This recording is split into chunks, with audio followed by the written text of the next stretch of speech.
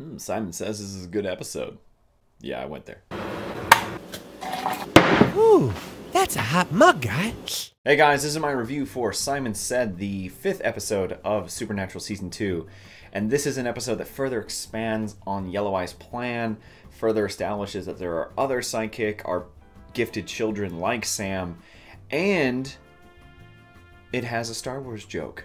This episode, majority of it anyways, is shot in Ladner, the same place where they shot the first three episodes of season 15. It's crazy to see how much more trees there were back then. This episode has a lot of good moments in it, from the Gallagher character to his evil twin brother. They touch on a little bit of the same elements that were in the Nightmare episode from season one, if I'm correct, with the kid kind of going rogue and killing his parents.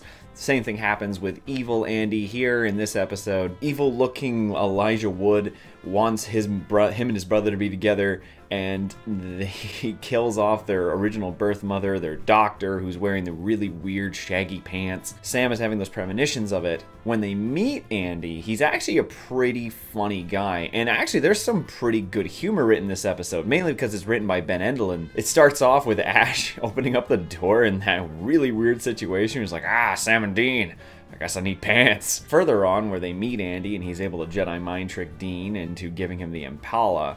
All the while, though, there is some pretty deep handed stuff in this episode with Dean kind of giving up a little bit of his inner thoughts, his inner fears to Andy and Sam about just the situation that he's in with his brother.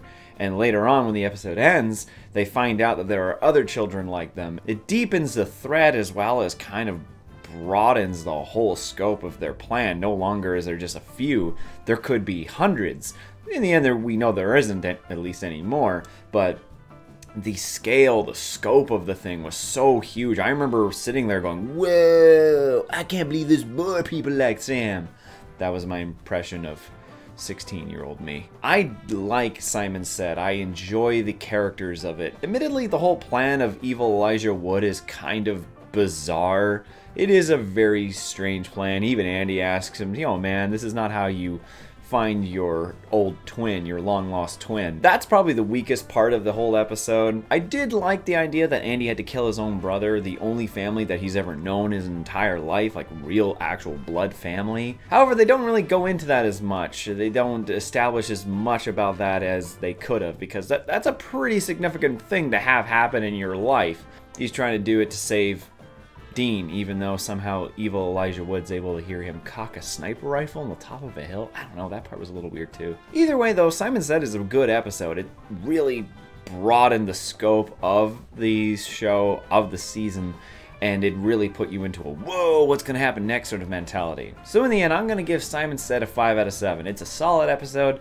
Its villain aspect's a little weak and a little bit much to try and believe, but either way, it's still a fun time. Anyways, now let's take a look at your guys' comments for this episode. Right, starting off with Sarah Zen Texas. I too love Simon Said. Gabriel Tigerman is so good as Andy. He anchors the episode. One thing that has bothered me forever is the way fans think his evil brother's name is Anson.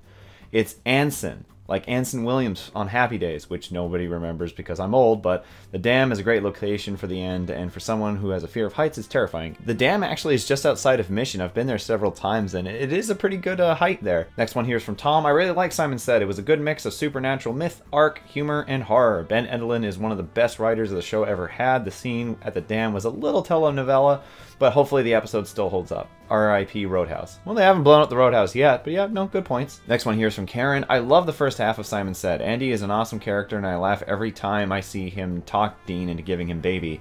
And again, using his mind control so Dean tells him everything, no matter how hard it is for him to try and stay quiet.